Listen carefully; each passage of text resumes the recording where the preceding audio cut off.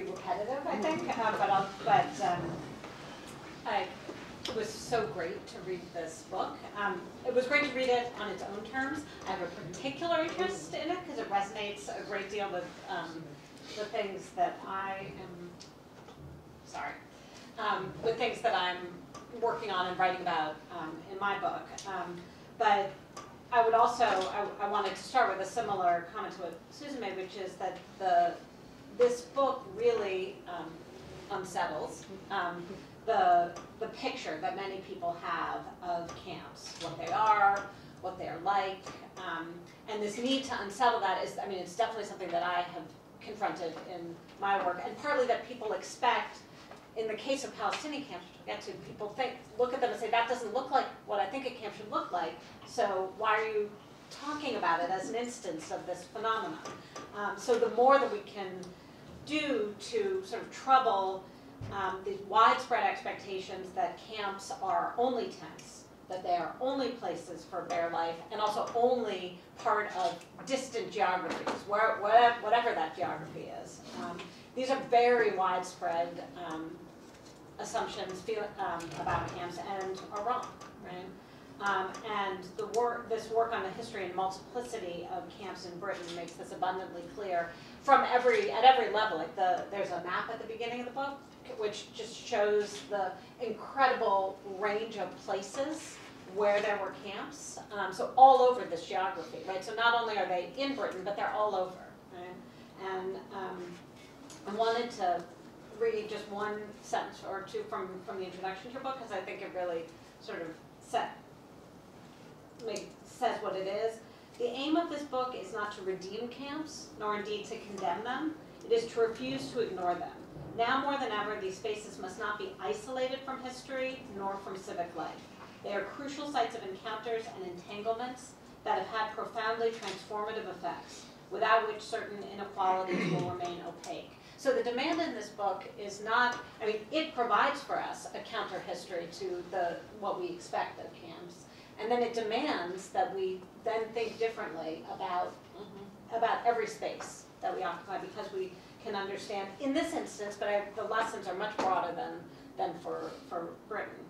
Um, and um, another thing that I was really struck by in reading this was the incredible, as, as both of you have already indicated, the incredible diversity of populations and experiences.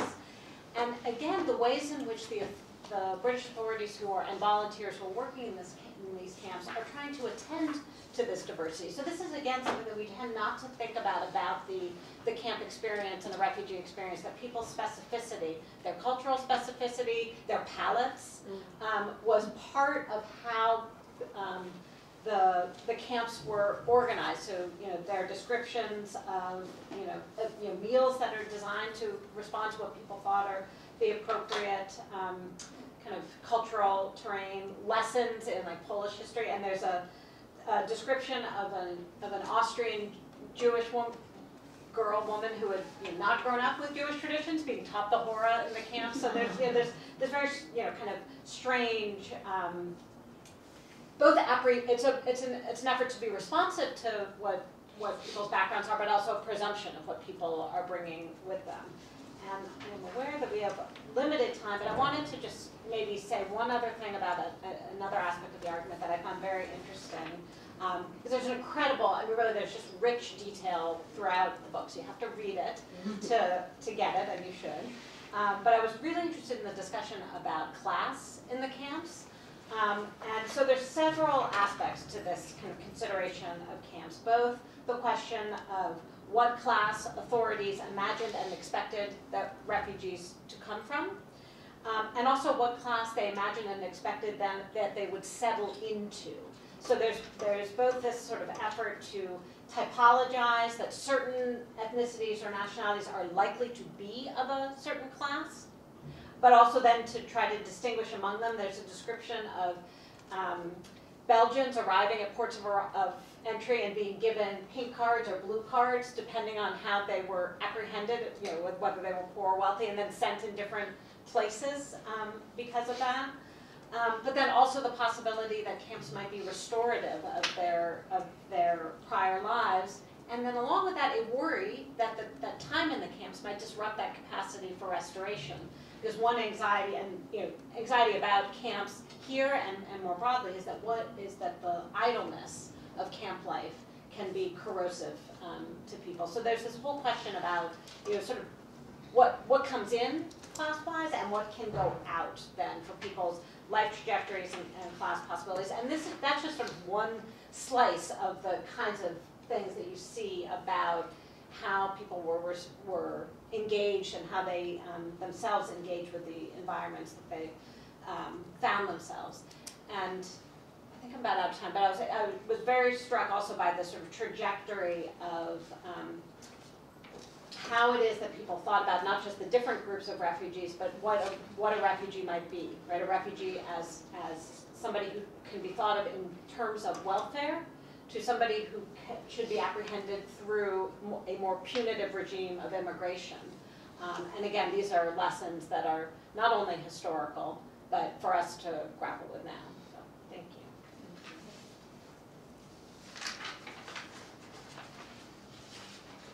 Um, Yeah. It's your turn. Sounds good.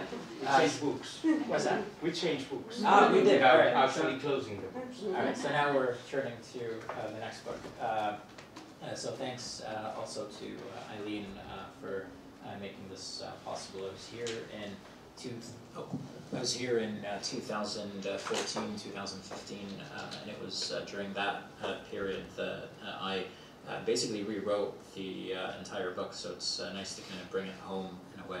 Um, it's also uh, really wonderful to be in the company of these uh, two other books. Uh, so I kind of look at my book and I say, "Lucky you." Um, the uh, cover uh, of the book is uh, by an artist named uh, Dia Al Azawi, uh, and uh, even though the book is uh, not about uh, camps and even though it's not about uh, Palestine, uh, the uh, title of the piece is. The massacre of Sabra and Shatila, one of eight, we are seen but not heard only as corpses. Something like that. War for Peace, and because we have very limited time, I am gonna read. Uh, War for Peace is about peace as a political concept and as a moralized ideal. It focuses on peace in the writings of ten canonical thinkers in political theory Plato, Al-Farabi, Aquinas, Erasmus, Gentili, Grotius, Ibn Khaldun, Hobbes, Kant, and Sayyid Qutb. The book questions peace, or how the compulsive desire for peace defines what it means to be human or civilized or good, and the moralities that this then puts into play and the politics that it enables. It's framed around the repeated idea that war is for the sake of peace, or the paradoxical position of peace, both opposing war and authorizing war. So I'm going to read bits and pieces from the introduction to give you a few provocations also from the chapters as a whole. Uh, peace is a troubling ideal. That's how I opened the book. We often hear its name spoken as a permanently desirable and universal moral ideal. It is today a pervasive belief that to be human, civilized, and good is to value peace, to desire peace. Only the most inhuman monsters do not love it. The belief in peace as a basic human desire and universal aspiration occludes just how readily its invocations dehumanize enemies, sanitize violence, and silence dissent. This is not to disregard that sometimes appeals to peace can offer an effective platform for change, resistance, or critique, but it is to question the work that a general belief in peace or a desire for peace performs. The conceptual grammar of peace orders the world by calling for peace and security, peace and unity, order, law, friendship, or development. It describes peace and violence in terms of symmetry and equivalence between given entities, and it treats peace as the one thing that all people must wish for and desire. And within this grammar, the paradoxical idea that war is for the sake of peace continues to circulate in contemporary public discourses around the globe as well as in major works of historical and contemporary political theory. This is an arsenal that has proven useful to the perpetuation of inequality and violence. The grammar of peace has tended to deflect attention from structures of power. I see the book as an attempt at unmaking peace, or bringing into view, instead of covering up, exactly what it is that makes peace troubling. At its barest, it's an invitation to look more hmm. critically, more skeptically, at those who claim to speak in the name of peace, at the ostensibly universal desire for peace, and at the dominant grammar of peace. So to see peace fundamentally as a problem. At its most ambitious, it is a genealogy of the moralities of peace. I offer three overarching arguments, basically that peace is parasitical because we always talk about peace and something else, peace and security, peace and law, not peace on its own. Second, it's provincial, its universalization reflects uh, different anthropological hierarchies, desires, fears, anxieties, and partial constructions of the globe. And finally, I say it is polemical. That's the last of my P's. Uh, in saying that its idealization is the product of specific antagonisms whose moralities are often forgotten, even as peace then continues to enable hostility. The book traces a logic of peace that necessitates war and then sanctions hierarchies within humanity. I'm going to give you some flavor of the kinds of moves that I make in the book just in three provocations. With Al-Farabi and Aquinas, the idea of the peace lover who wages just war against a warlike enemy actually results in a deep irony. The peace lover and his enemy resemble each other, the difference is one of them talks about peace the moral economy of peace is embedded in a political economy of war. In chapter 5, instead of reading Hobbes as the theorist of state sovereignty or the English Civil War, I suggest that Hobbes theorizes settler colonialism. The desires and the life that he associates with peace actually end up spreading war, death, and the uneven valuation of lives across the globe. Kant's hospitality grows out of his racialized construction of the Arab, and his globe is formed by Orientalism and its discourses about camels. Qutb, the Islamist, is a theorist of the racialization of Muslims and the colonial production of global peace. These chapters were all critical of idealizing peace, so instead of asking how we might attain world peace for all, the question here is why we insist on the name peace, how that name itself orders our understandings of political solutions, who gets to ponder these solutions, and invoke peace in the process. Peace is not the solution, it is a problem. This book is a genealogy of peace in order to move beyond peace. I think it's Ilana first. Ah, You, okay. you, you go first, yes. Okay. According, according to the plan. I have a blueprint here. Okay, I'm, I'm, I'm happy to. Actually, um, the,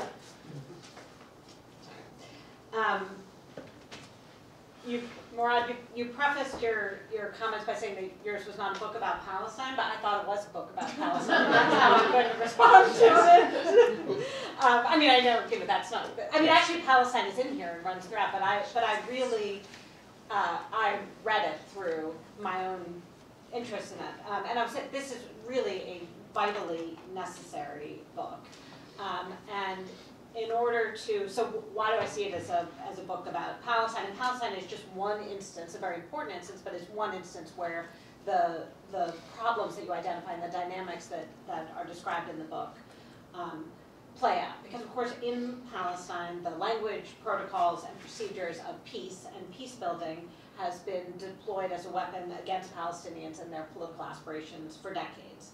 Um, and you know, a lot of the way that that is talked about is either the question of the failures of the of the peace process, or a kind of cynicism that what's at stake is not peace and that is you know that's just a smokescreen.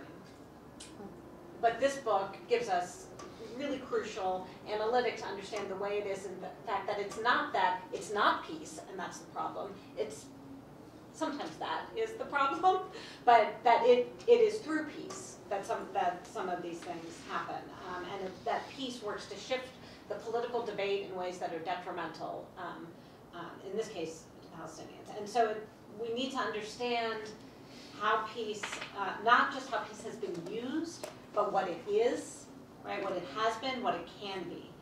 Um, and um, so in relation to, I want to stick, I will, I will eventually, I promise, sort of move away from, from Palestine, but, but the, the three Ps that, that you provide to, to help us make sense generally of how, or, you know, it's not, there's nothing general about this, but more broadly about how, how peace has, has been articulated, um, I found very helpful to, to see how it's, how it has been, um, used in this context. Certainly, um, the polemical aspect of peace, um, that it is, you know, uh, Elaborated with specific enemies in view, that the central character for peace is the enemy.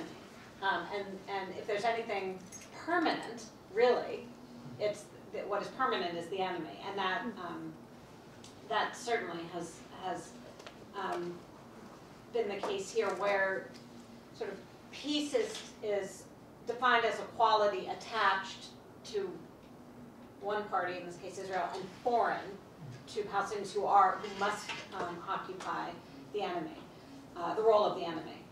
Also, the, the ways that peace is parasitical, right? It is, you know, that it, that in order to be deemed to be in the realm of talk of being peaceful, being a peacemaker, talking about peace, you need to see to and accept a whole set of other concepts which might be quite antithetical to pursuits of justice, pursuits of restitution.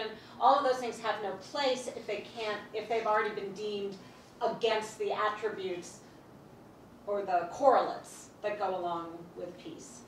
Um, and then the, the certainly the, the notion that this is a peace is a is a term that des- describes itself as universal but is always provincial, right? And provincial partly because it is the it is the domain of only some.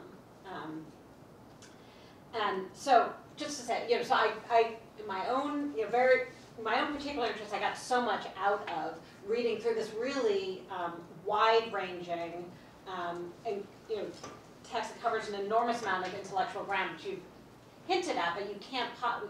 It's another one. You have to read it to uh, to understand just how um, incisive all the arguments are. But I wanted to very briefly um, talk about a couple of the, the concepts, and, and again, sort of reflecting my own interest. I, this, these are from the chapter on um, Kant and Qutb. Um, and you know, through the reading of, of um, Kant and Qutb, and the, the pairings in all of these chapters are, are really illuminating. Um, so peace you show is not just a historical concept, though it is that, but very much a concept that entails a theory of history, right? that it is a, theory of history. Um, and really it's a theory of the end of history. And, um, you know, particularly, you know, the idea of perpetual peace um, is of, um, of history at its end, and that what you were, uh, the, the teleology is a teleology of end times, really. Um, and so one of the, you know, in addition to laying out the three P's that, that, that peace entails, uh, Murad identifies, in some sense, three alternative uh, possibilities. Um, truce and um, par- particular peace, right? So peace between that declares itself its particularities, and the ethics of separation. Um, and I, I mean, they were all very interesting. Um, the I maybe I'll say a little bit about the idea of a truce, because of course, you know, he, in reading Kant, specifically describes truce as an, from Kant's perspective, inadequate. It doesn't have the correlates. It doesn't have the the, the permanence and the perpetual nature. And Murad suggests that maybe it is precisely in those limits that something like truce may be the place where we would want to um, hang our hat, direct our attention, right? If, if the question is um, a pursuit of justice, a resolution of conflict, that the idea of a thing for now, it faced with the problems that you have, with the particular people that you have, that isn't the end of history, right? We are in, you know, yeah, we're, we're, we never have the end of history, but the truce can be um, potentially a way forward. And I think, given time, I will stop there, but read the book. Read the book. Read the book is, uh, I think, the three most important words. I uh, uh, read the book. Uh, that's uh, past tense. But it will be future tense as well. Um, I also uh, was a little bit embarrassed because I couldn't write anything. So I went through your waste bin and, and, and found uh, an, an opened letter addressed to you in Arabic. So I didn't even have to open it because with digital humanities these days you can do all kind of post-human things. So a machine read it for me. And uh, I found it quite interesting, so I am just going to read it to you. It's, it's, uh, it's dated in, in, New York City in the 19th decade, Quartidi of Germinal of 227, which happens to be today. it's interesting. yeah, I know, it's, uh, it's, it's, it's, it's astonishing. I hope this letter finds you and, dear Murad, sorry. I hope this letter finds you and your family very well. Uh, if there are problems in, with English, it's because of the translation. I remember it's, uh, you know, it's addressed in Arabic. I would like to tell you what I think about, uh, I'm sorry, uh, uh, I have just read your book, War for Peace. Thanks for saving a copy for me. I would like to tell you what I think about it, given that you did not ask for my opinion. But you know the saying about everybody having an opinion that Clint Eastwood made sadly famous a lifetime ago. To give you my opinion, I need to be frank, even blunt. So forgive me if I begin with a criticism. Uh, but I feel it is my duty to do it, and like Frederick the Pirate Apprentice in The Pirates of Penzance, I am the slave of duty. That doesn't begin well. What I cannot understand for the life of me is why on earth you did not write and publish this book in 2008. You will say, but I was 24. I know, but this is such a lame excuse. A good friend would have overcome this minor obstacle to save me a couple of years of embarrassment in a couple of seminars and a few presentations on peace and peacemaking. Had I had this book at that time, my ideas would have been clearer, more brilliant, and indeed I would have probably started to actually think about peace, instead of just trying to come up with some fragmentary, unfinished thoughts. You should have, and you did not. but at least now you redeemed yourself, and finally gave the book to the printing press. I can only imagine your struggle, your effort, and those good translations. Are those good translations of the literal root JHD? In your conversation with the copy editor from Oxford University Press, she or he wanted you to get rid of all those, all those diacritics when she or he said those words have already been incorporated in the English language. But the English language only incorporates those words, those concepts, by eliminate, eliminate, eliminating the critique through the diacriticism that come with them. English language only incorporates those, those words by taming them, by deactivating them, by putting them in a place where they can be observed, redefined, submitted to a very basic colonial form of criticism, put on the spotlight of their otherness. So I was moved when I read note 22 of your introduction, page 13, where you wrote for this, this, this, this where you wrote the following winged words he's read or uh, Homer. Although the word jihad is now an English word, the Roman type fails to signify that it is domesticated precisely as something foreign and that its status is a source of political controversy.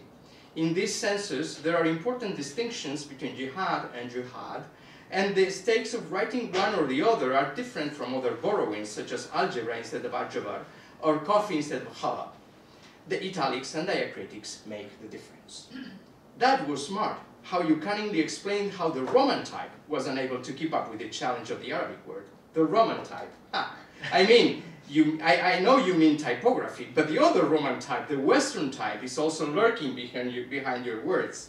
I know that you read, uh, that to read you, I need to read between your lines and not just on top of them. Otherwise, if I read only what you have written, I would have failed to see what are the stakes of your study how this war for peace trope, in its multiple iterations across a masculine history of ten thinkers, is indeed a contemporary call for thought and action, and not just genealogies, as you claim in your subtitle.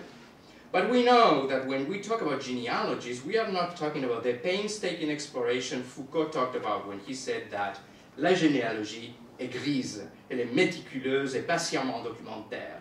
Elle travaille sur des parchements brouillés, ratés, plusieurs fois réécrits. Genealogies are the institutional paths that lead to the formation of those institutions and at the same time make us think that they are not institutions but natural, spontaneous occurrences.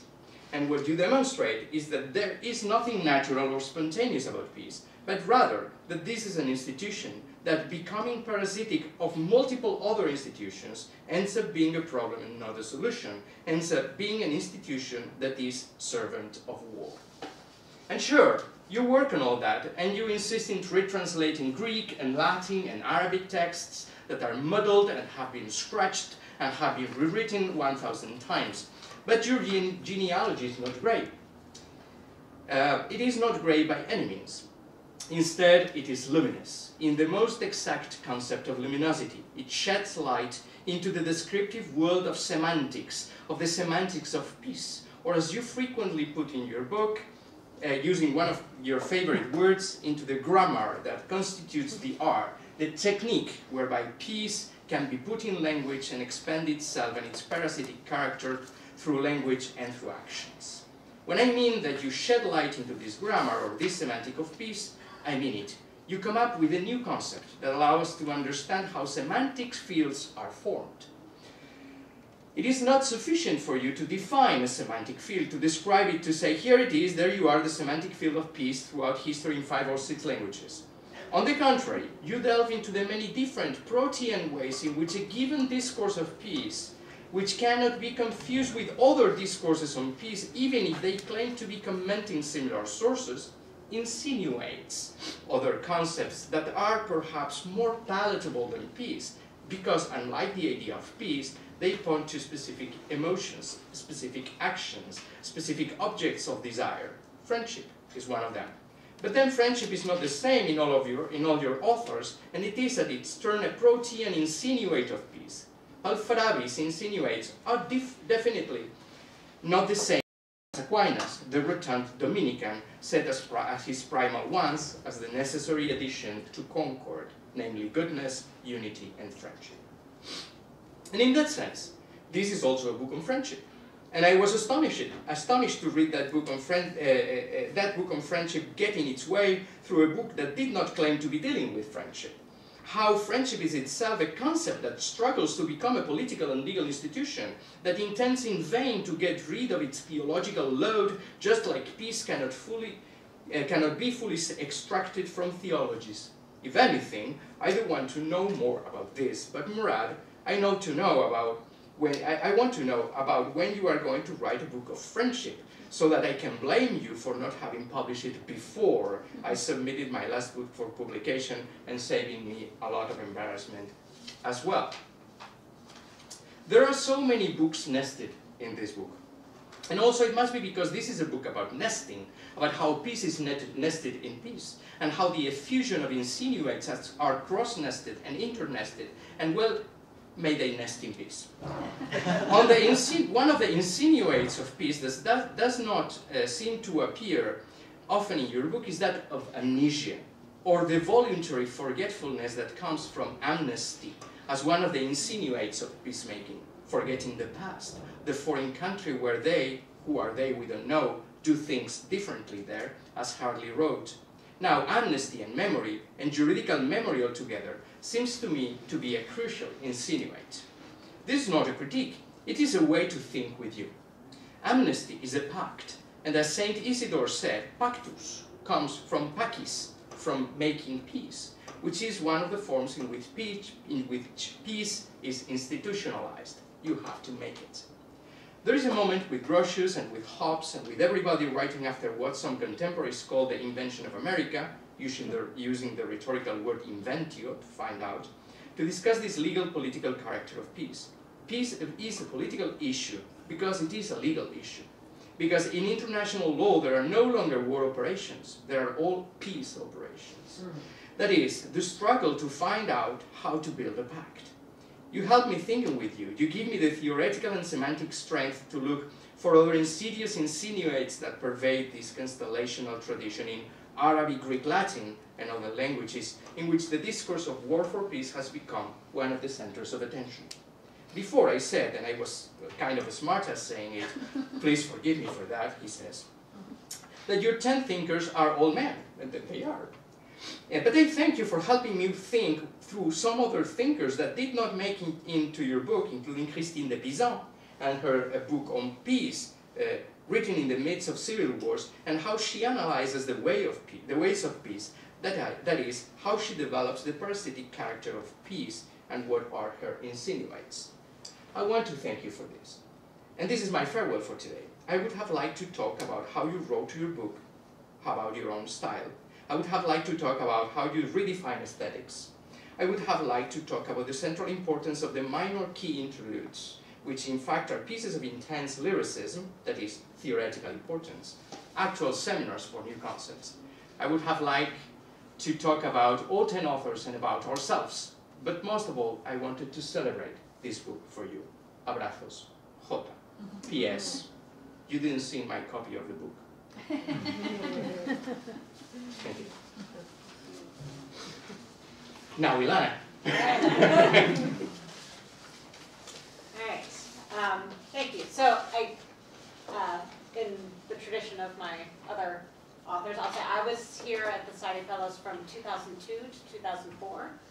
Um, and I, I wouldn't say, I, I prepared to write my first book here. I, know. um, and um, the, also, I guess to comment on the cover, since you guys commented on, on their covers, one of the, I'm very pleased with the cover of, of the book. Um, and everybody knows, like, one of the challenges is that you write the book and then the, the publisher doesn't promise you to, to give you a cover that you're satisfied with. And when you're working on something about refugees, I would, you know, there's so many terrible things that could happen, um, and, and none of them did. Um, so, um, so to say very briefly um, what I'm trying to do in this book, it's a, it's a book about the Palestinian refugee experience, living with, against, in relation to humanitarian assistance uh, for seven decades. So from 1948, um, when I started the project, I would say from 1948 to the present, but there, I mean, there, there, there came to be a conclusion not only because the book had to be written, but the events in Syria were came, sort of marked a an ending point for me because they in certain places they really of course transformed things and that is not as is often the case I gesture to it in the conclusion but that's not um, the subject of this book but I'm looking across um, the, the, basically the five primary fields where the where UNRWA which is the UN agency for Palestine refugees works Lebanon Jordan Syria the West Bank and Gaza and doing um, archival research and ethnographic work. Um, I was trained as a historian and anthropologist and try to live in between somehow. Um, so I'm exploring throughout here two sets of questions. One about humanitarianism and um, particularly about what happens to humanitarianism as it becomes long-term. Um, you know, this is a form of intervention that is self-conceived, that is apprehended and self-defined as a crisis intervention you know, get in, get out. Um, but in, frequently and increasingly, this is not the case in, in, you know, across the globe. So the Palestinians, which are the case is often identified as exceptional, but it's just on one end of a spectrum of what is an extremely common phenomenon of protracted displacement and therefore the need for long-term humanitarian assistance. But that, that long, those long-term conditions do pose challenges for humanitarian actors and for the humanitarian apparatus. So what, how does humanitarianism respond when it has to deal with crisis, uh, with chronic conditions as much as crisis situations? How is its purpose challenged and redefined, and how are humanitarian mandates and constituencies stretched, reconfigured, and limited by that process? And then I have a set of questions about uh, how Palestinians who have lived with humanitarian assistance over multiple generations, multiple decades, how they pursue their lives in politics in this context. And particularly I'm interested in the ways in which humanitarian procedures, discourses, and materials can provide tools for, as much as impediments to, their efforts to make claims and live their lives. So I'm looking both at what would be sort of the more familiar humanitarian politics of life, right, so the governance of populations through humanitarianism, and also the politics of living in humanitarian spaces, how people survive and strive, and again, not just despite, though sometimes despite, but through the humanitarian apparatus. Um, and so in looking at this sort of extended time frame, I'm use the term punctuated humanitarianism to try to describe the move between the chronic and the crisis, from the humanitarian situation, which is that crisis moment that generates a response, to the humanitarian condition, sort of the long-term process of living with chronic need, which is no less connected to the, the causes of humanitarian of a humanitarian situation, but it's sort of ebbed into a different rhythm, different flow. And the uh, I, what I'm trying to capture with the the idea of punctuated humanitarianism is both this sort of oscillating experience between crisis and chronic, the shifting rhythms of change where things, you know, there is this ebbing and then a, you know, a um, sort of sudden and dramatic rupture into crisis, um, or, you know, um, and then the varieties of efforts to respond to those things.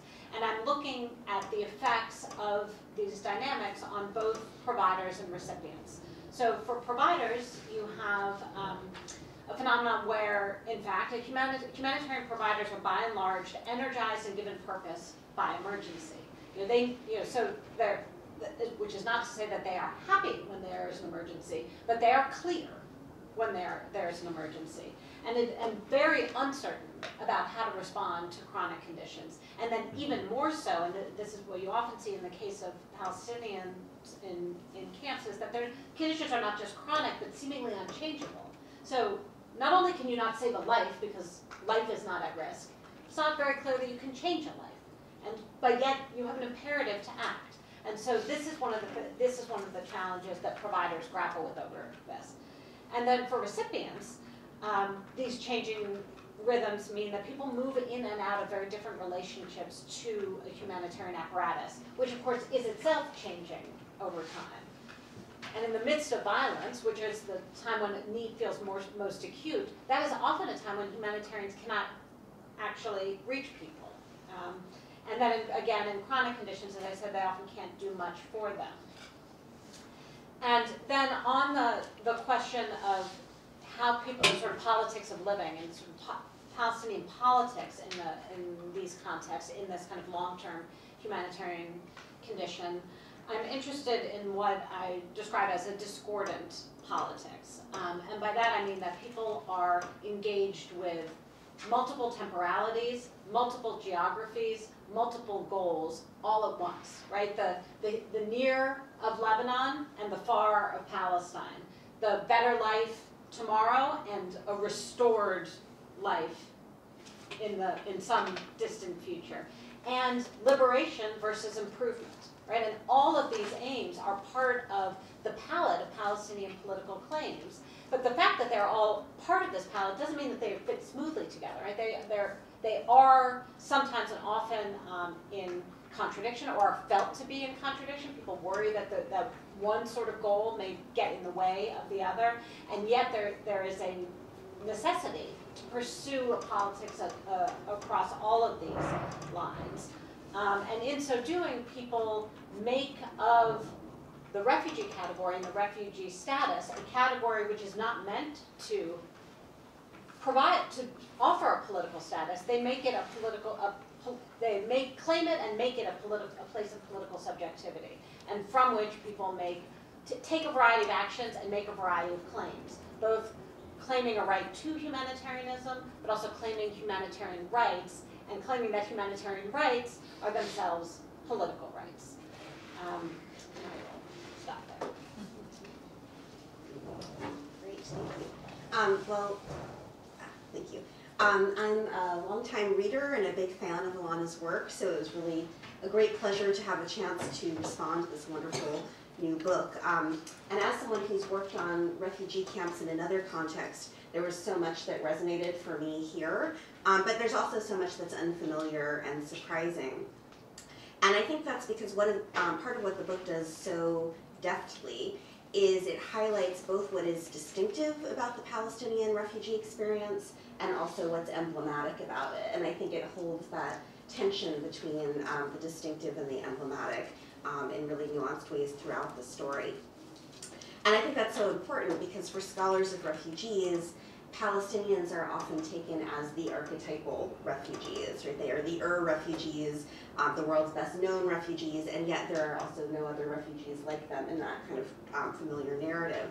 Um, and so I think it's very important that uh, Ilana reminds us of these kind of unexpected ways that Palestinians have lived both in and against humanitarianism for 70 years, um, perhaps the longest emergency.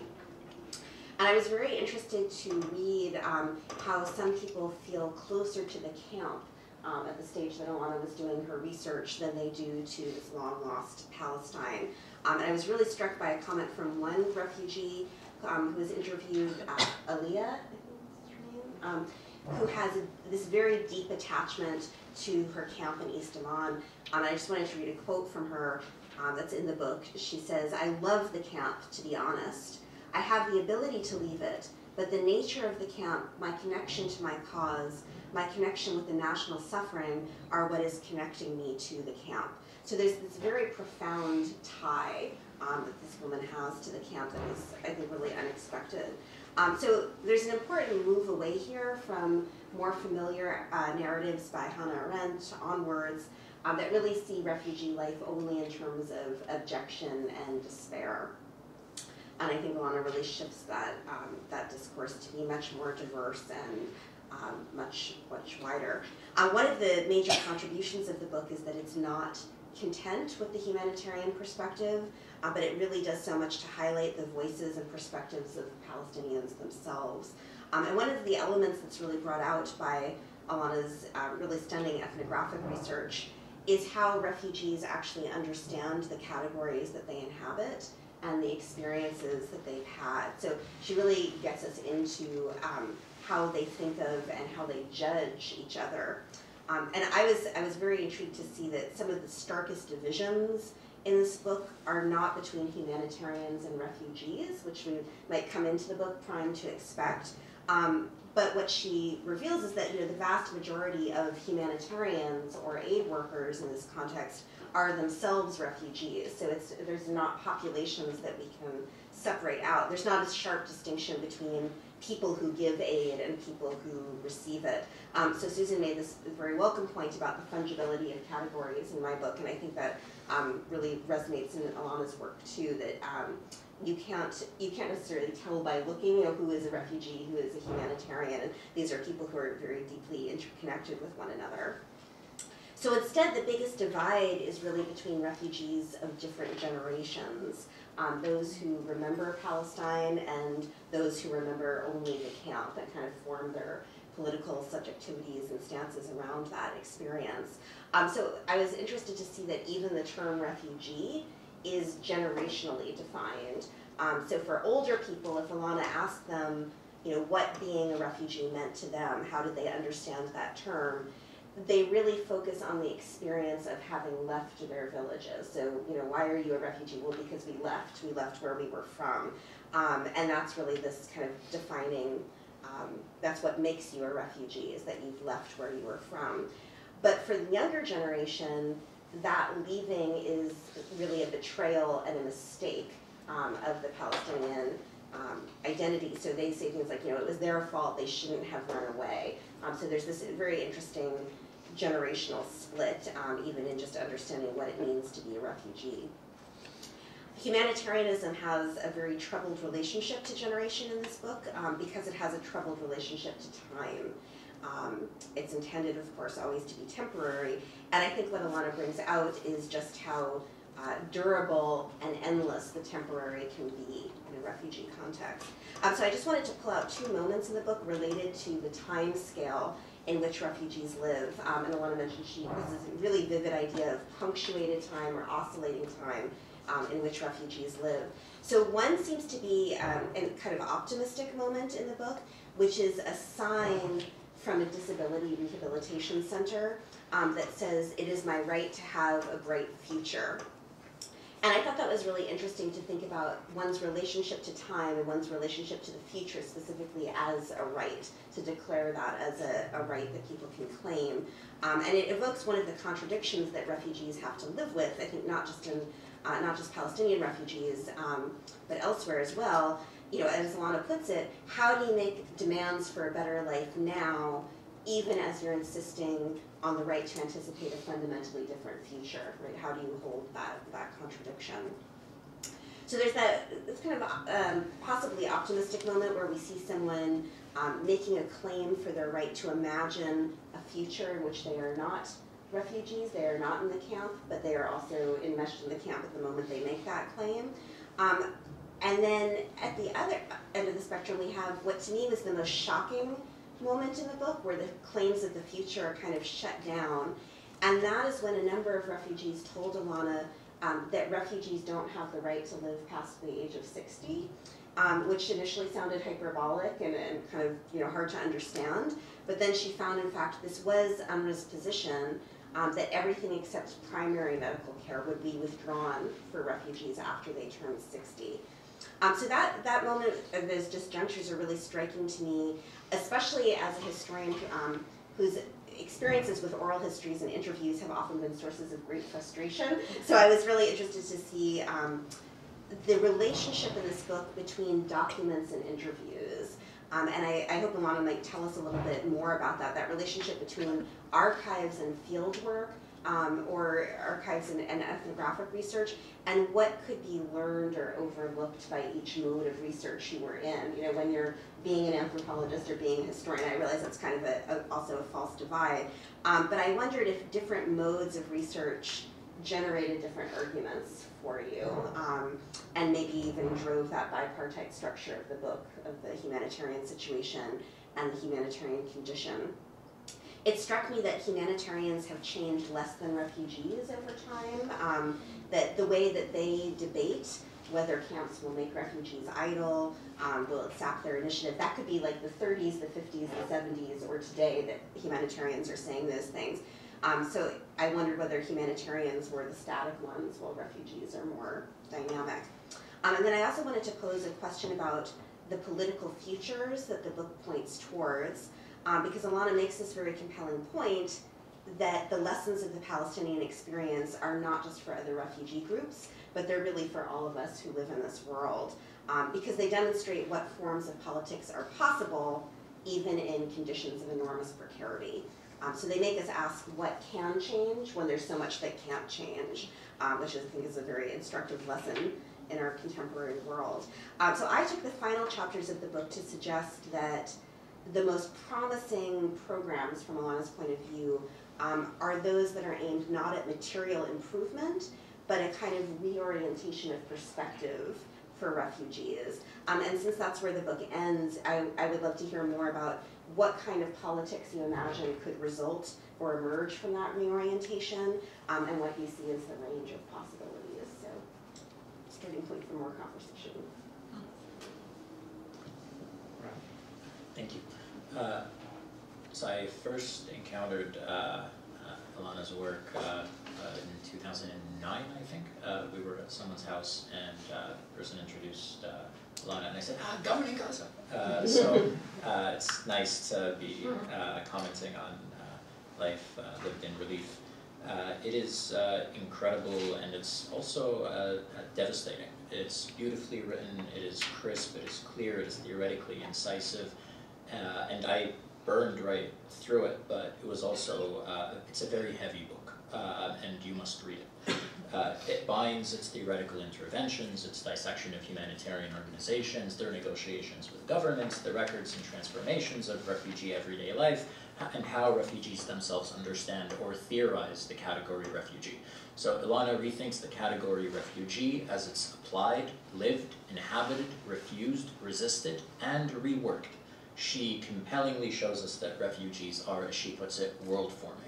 So in her recovery of the sites of politics and their conditions of possibility, I actually read this book uh, as speaking broadly to anthropology and to history and to Middle East studies, uh, and also to the humanities and political theory especially, and not just for the very important corrective of Arendt and Agamben and others who've uh, uh, attempted to theorize the question of uh, refugees in ways that the book, I think, compellingly shows have been far too uh, limited and limiting. Uh, the book beautifully maps out the questions that confront Palestinian refugees and humanitarian organizations, as well as their disjunctures, both between one another and also within them, as we just heard. In the humanitarian frame, ideas of survival, saving, and helping reign supreme. Questions about who counts as a refugee, provisions, generational change, healthcare, or as Ilana puts it, undercare. These become technical questions within the mandate of saving. But crucially, and this point came out earlier, I really want to highlight it, the question of refugees has always been a political one. It's about dispossession, settler colonialism, the right of return, the obligations of the international community, and the NGO's obligations to witness. The attempt to turn political questions into technical ones, or to mm-hmm. deflect the political, then attempts to neutralize this whole question. And the, in this way, the work of saving also ends up potentially silencing. So the humanitarianism of the question of Palestine seems to me to be entangled in this double dynamic, a depoliticization of Palestinian claims, even as existing as a Palestinian, or saying Palestine, particularly in this country, is already a political claim.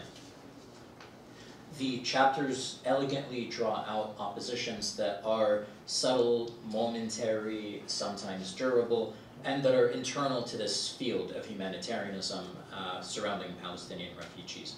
From the grammars of humanitarianism versus development, saving versus improving lives, the host state's obligations to their own citizens, or to the refugees, or to humanity, the three-way battle between relief uh, agencies, states, exter and external funding from the UN, and then the refugees themselves, from being reduced to bare life to the imperative to make bare life bearable, from contestation over sumud, uh, or uh, withstanding and resilience as a national virtue, to the exclusions that it puts into play, and its displacement, it seems, perhaps, by the discourse of uh, istihmal or enduring and putting up with.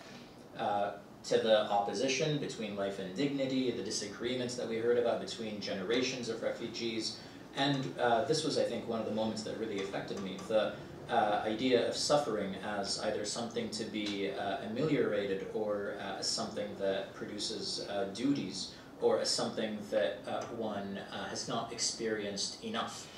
there were these moments where some refugees said, um, you know, compared to the refugees in these other camps, I'm actually very ashamed of myself. I live this comfortable life in this camp compared to people in the other one uh, to also communal, uh, from the communal to the new form of individuation and foreignness as different populations get moved around. All this is tracked with uh, really remarkable uh, uh, clarity and uh, precision. from the right to political life, to the right to bare life, and from the camp as a space of saving to the camp, and here I think is the real crucial argument, to the camp as a space that is generative of politics in these binaries, in these dilemmas, and in the ways that they're beautifully subverted, uh, Ilana de-exceptionalizes the camp as a site of politics, and she brings out in really full force the knots of concepts, the wages of survival, and the contradictions of belonging. Refugees are displaced, and the category and the experience are structured by distinct temporality. So I want to go to uh, the same point that uh, uh, Jordanna mentioned about uh, time. Uh, and this is not, I think, simply the uh, limbo of waiting or the linearity of coming to a solution. The temporality seems to actually structure the book as a whole in terms of second, third, and even later generation Palestinians uh, being refugees with the humanitarian or political rights, to the ways that 1948 and other key dates restructure and punctuate time, how they're remembered, how they're forgotten by different generations, to the temporality of life itself, from being born in a refugee camp to the valuation of who lives and who dies with undercare. The temporality is punctuated by wars, by the withholding of funds, or by the shrinking of space, and most importantly, and I think also this is another thing that was, uh, uh, uh, this book really affected me, uh, uh, also quite, uh, felt kind of personal for me, was this question of uh, the possibility of imagining a different time, a different rhythm, and a different future. So the part that uh, stuck with me uh, in the book most uh, vividly, and actually when I knocked on some neighbors' doors, like in the hallway, and was like, can I tell you about this? Uh, this is in uh, chapter 7, uh, which is remarkable, and I think I'm not exaggerating when I say it's one of the most important texts I have read on Palestine in the campus and camps through different projects, the capacity to anticipate and to imagine a different future is at work. The refugees at this point were invited to imagine life years after their return, I think uh, in the year 2034, 2040, something like that. And their answers, their identifications with the camps, but also their imaginings of mobility, their imaginings of different nodes and networks and layers of material and affective bonds, intimate and political. These really go beyond the limitations of the state of uh, discourses about society and different discourses about states of exception. These are actually not just alternate futures, but alternate ways of orienting ourselves towards time and space. So through the refugees, uh, Ilana restores not just life lived in relief, but the possibilities of thinking beyond and even after the humanitarian frame in which the refugee and the camp uh, uh, are the uh, first sites in which we might think about uh, generating politics in our time. I'll stop there. So I'm going to give you guys a chance to answer some questions that came up, but before that, I just want to thank all of you for this incredible.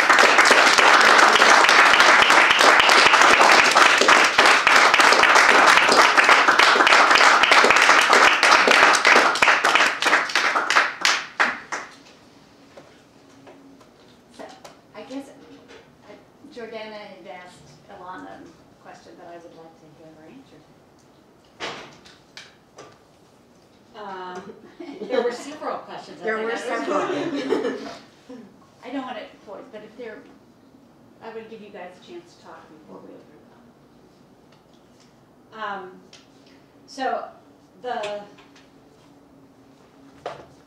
there was a question about about the research process, but there was another more This is- conceptual question that well, might there was- tie yeah. across all of ours. The- Yeah, well, I think, um, you know, Susan had raised this question about timeliness of projects, which I think is something that we all um, were grappling with in our work and sort of problems of writing to the contemporary.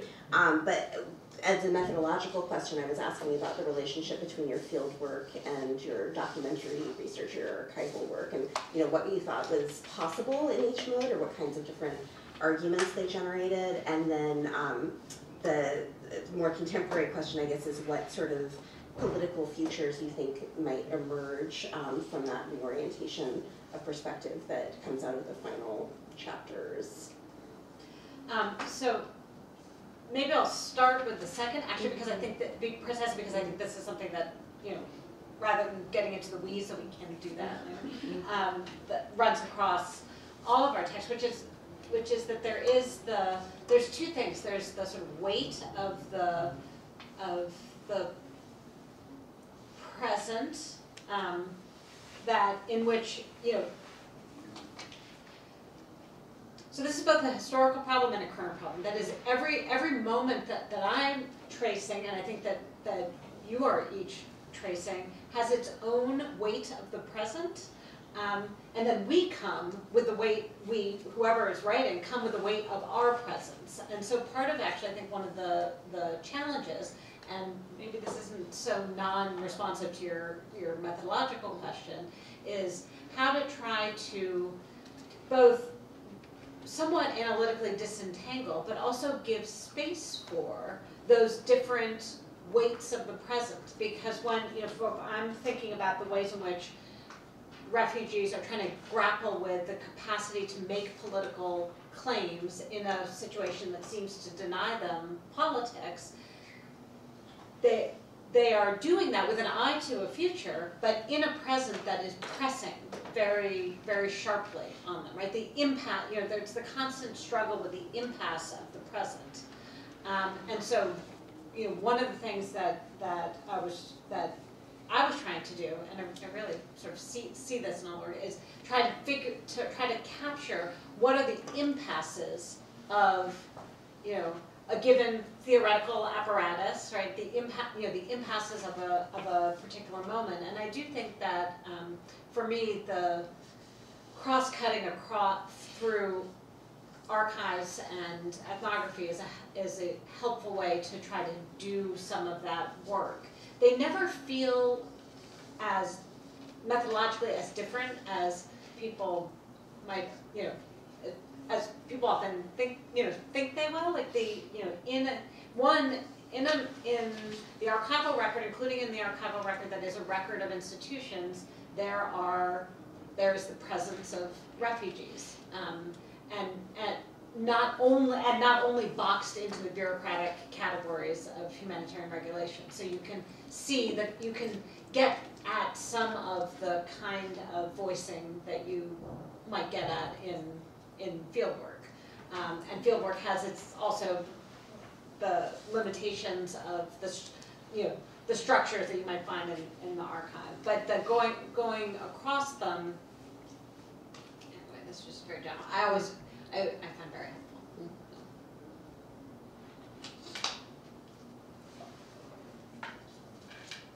Question?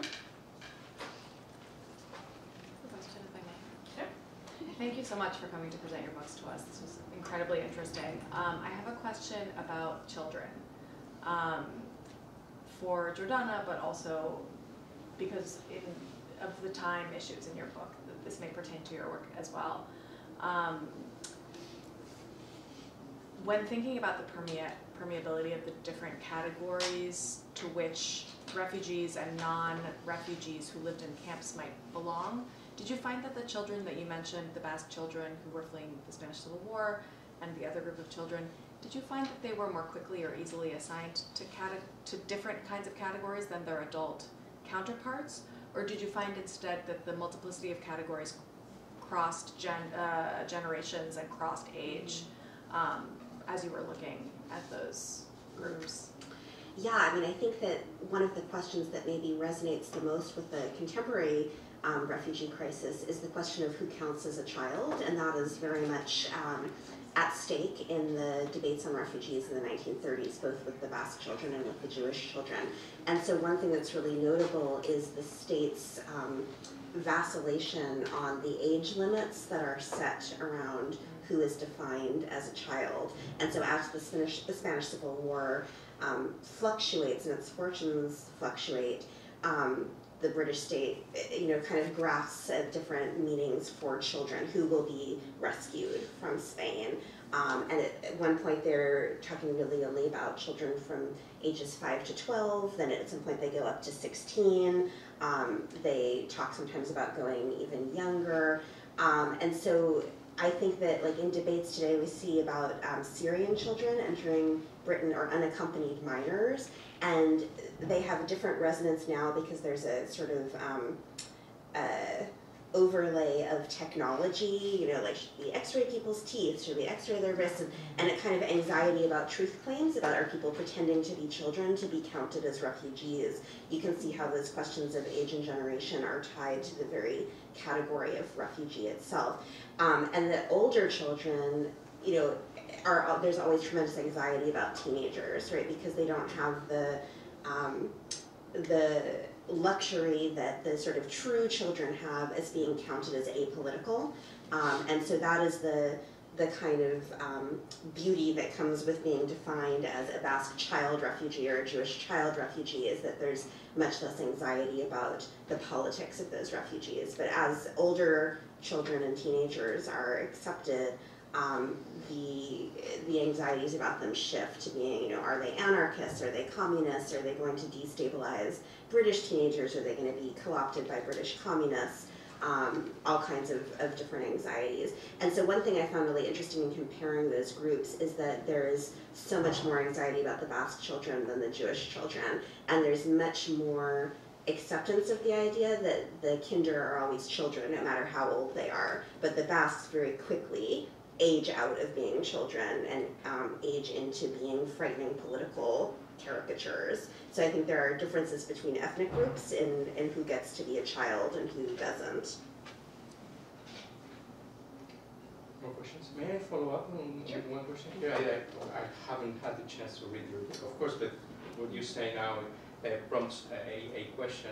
Uh, it's, it's who are so because because because many of the Basque uh, refugees uh, that left uh, the peninsula during the during the Civil War also were uh, accepted in French camps, and in particular in French camps that were all over, you know, uh, uh, nearby the, the, the borderline in the Basque, in French Basque country or in uh, or in Argelès, etc. So, and, and there they, they, they were under specific circumstances that were politically very, very uh, harsh on them also because Pétain at the time had con- considered them undesirable by altogether.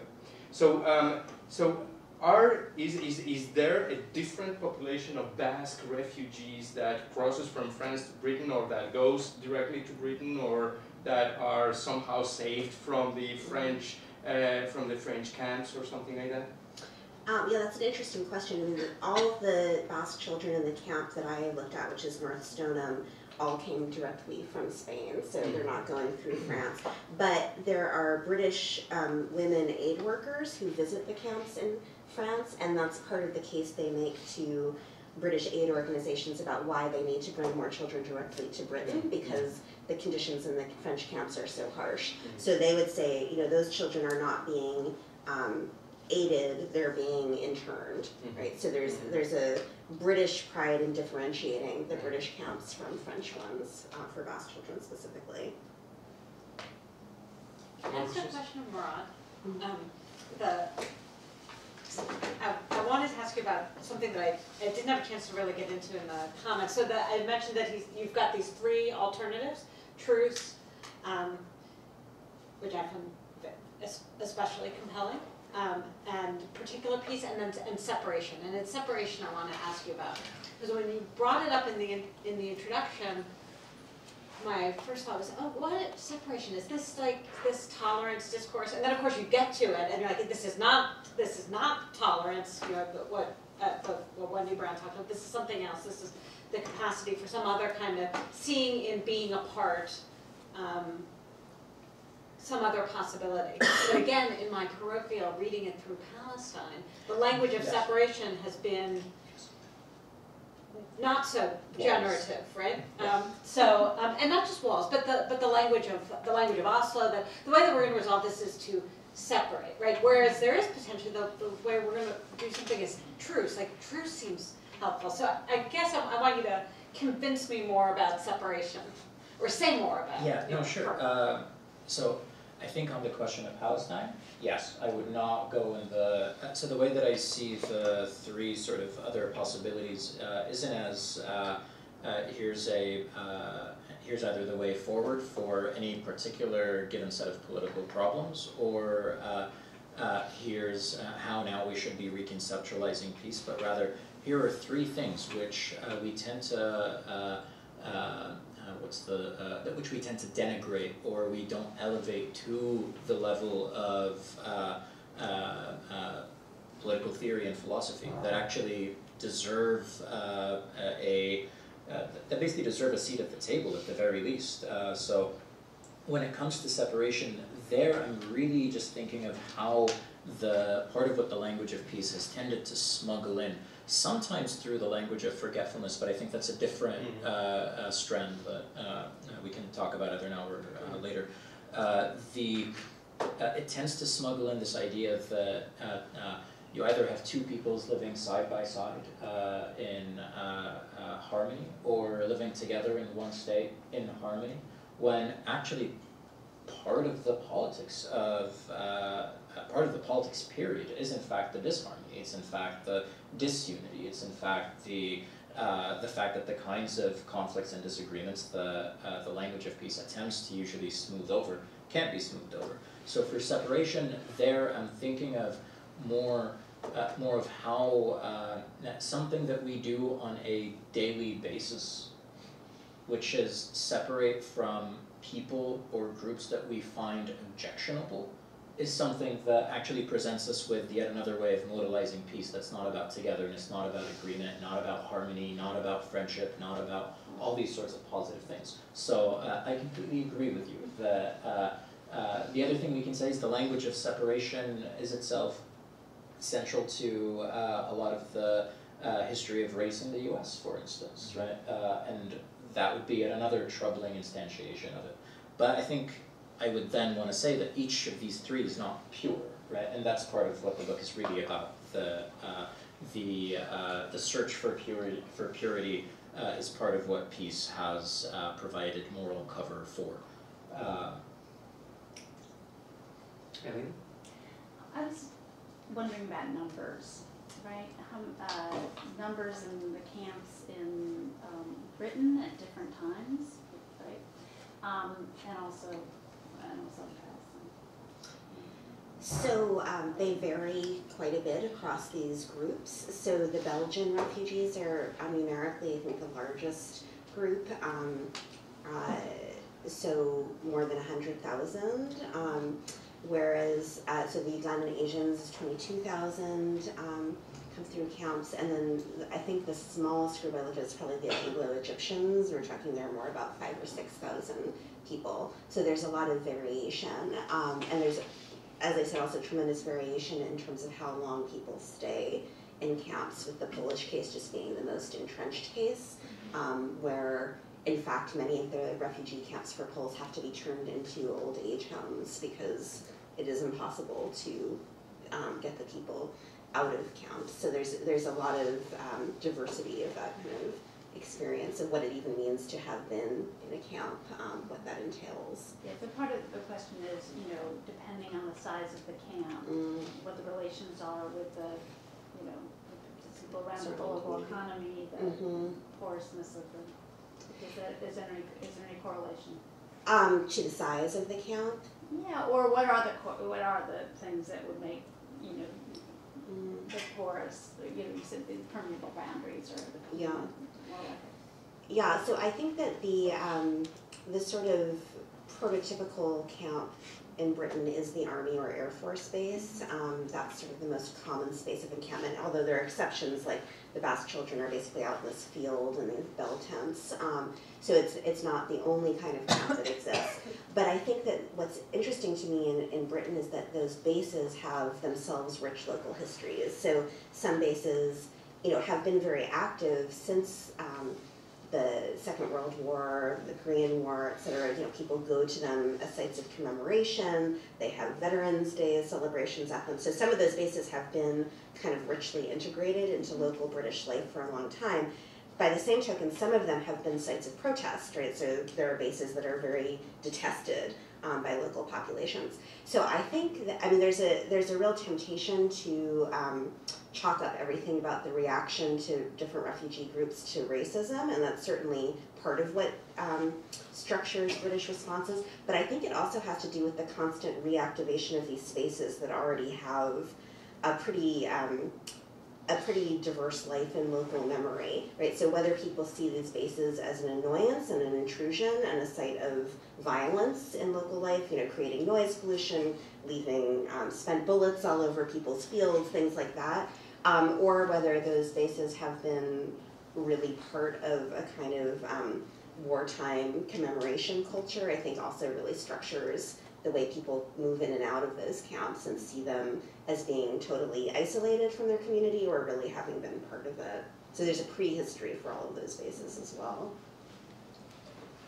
I mean, in the Palestinian instance, so just first the sort of overall numbers. In 1948, about 750,000 Palestinians um, became refugees, but only about half of refugees ever lived in camps. So this is, you know, the, the, the focus of my research is on the camps.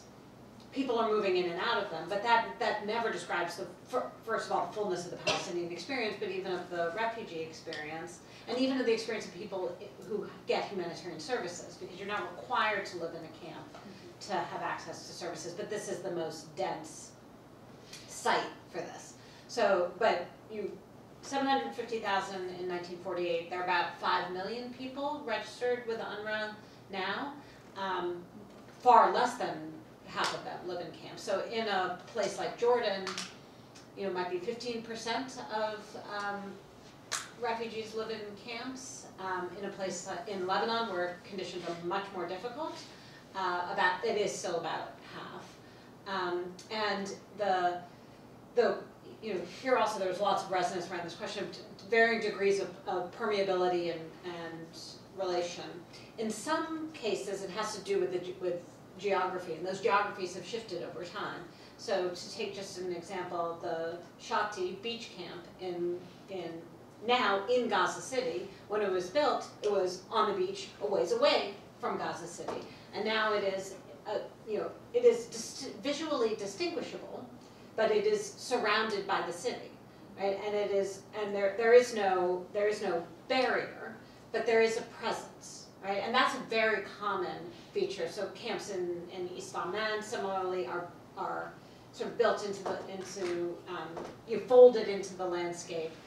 Um, and also, again, the, the kind of permeability of populations, not only in many places, especially, uh, you know, especially in Jordan, West Bank and Gaza, for obvious reasons, population on either side of those boundaries are Palestinians, population on either side of those boundaries may be refugees, but also inside camps, and this is especially true in Jordan, in Lebanon, again, things are very different now in Syria, the populations in camps are not only Palestinians.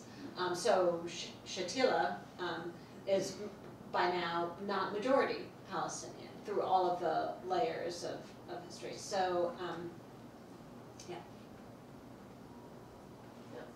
Do you- Time for do one stand for more. one question? Yeah. May I be the one who asks? Okay, oh, there's a question over there, yeah. Should I ask to follow up to that one? At what point does a camp stop being a camp?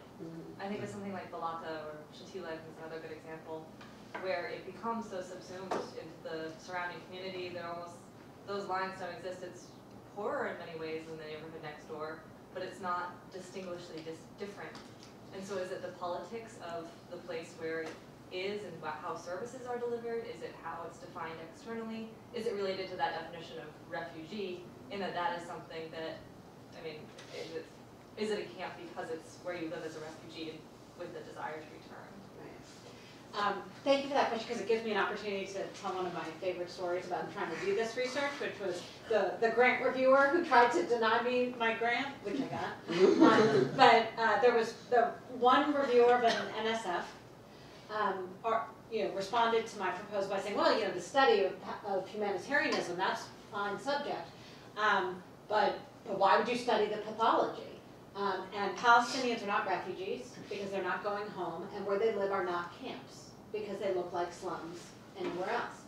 Um, and so, in some sense, I mean, while I saw that as really political, um, I it does also reflect, you know, a view of camps, and it actually provides an entry point for thinking precisely, you know, in a better way, your question, which is what what is a camp? What makes a camp? Um, and in some sense, it's all of the things that you said. So the a, there are you know, actual ter- you know, territorial boundaries to the camp. There are regulatory boundaries. You know, what it, how, what does that look like on the ground? You know, so in this camp in East Amman that I was talking about, where there, there is absolutely no visual distinction because the camp, in fact, has spilled over the boundaries. How do you know when you're in the camp and not in the camp? It's who collects the garbage. Because if you're not in the camp, the municipality collects the garbage.